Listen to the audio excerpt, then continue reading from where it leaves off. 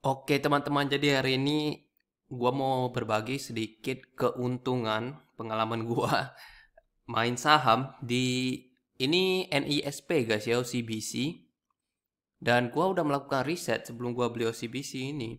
Gua lihat harganya itu lumayan murah, udah diskon. Dan kemarin gua belinya tuh di average price 715 which is sekitar di sini. Dan gua merasa itu dia masih bakal naik guys Oke. Okay?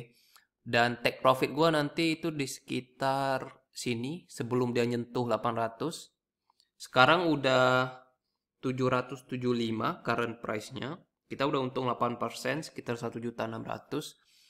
Uh, kenapa gue mau keluar di sini? Karena ini resisten guys ya. Ini kalian bisa lihat ini ini ini, ini banyak sekali ini candle candlestick di sini.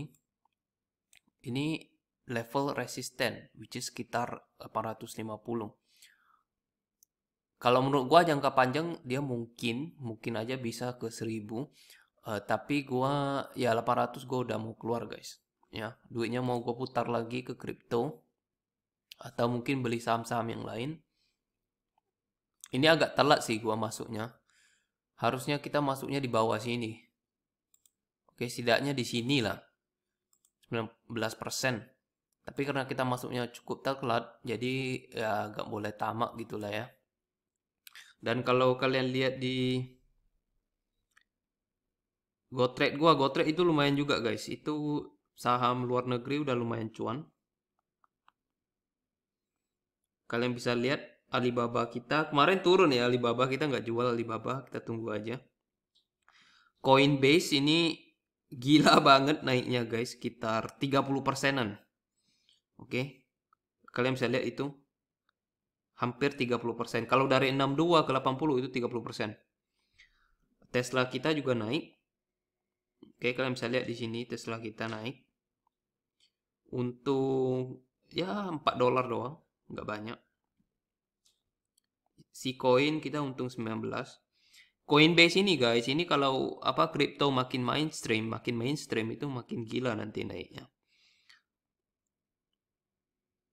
Jadi sementara kita fokus di sini aja. Atau mau jual sekarang boleh juga. Kita lihat ya. Ini dipotong fee loh guys. Kalau gua pencet sell. Tuh kalian bisa lihat itu ada fee-fee-nya itu. Broker fee 12.000. Exchange fee 30.000. Ya. Ya kemakan 42.000 ya nggak apa-apa sih. Mungkin gua tunggu sebentar lagi baru gua jual. Tuh dia naik lagi guys. Kita sell. Ini 780 ya. Kita bisa naikin juga harganya kayak gini. Gua ngincernya 795 sih. Kita bisa set limit juga 795. Gua mungkin 795. Tuh dapat 10% 2 jutaan. Gua sell aja di sini.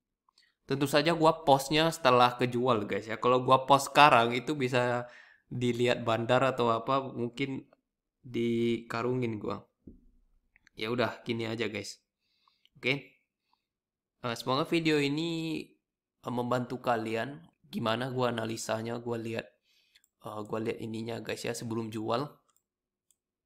Terus nanti gua putar lagi ke saham-saham yang lain atau mungkin saham luar negeri atau mungkin kripto uh, tergantung marketnya sekali lagi kita ngincarnya yang oversold oke okay? yang oversold nanti kalau dia naik kita jual